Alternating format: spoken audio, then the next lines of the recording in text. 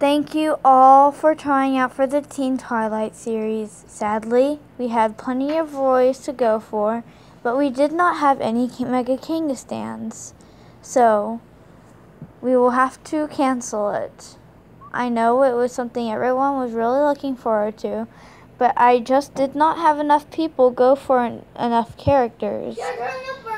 So sadly, it's canceled. I may do it again. Probably will try to do it again, even maybe when I'm animating one day. So I'm really sorry for, for all you people who tried out and got a part, but um, you, I'm sorry, you just, yeah, you understand what I'm getting at. So, without further, further ado, the Team Twilight episode series will continue without audio and without voice acting.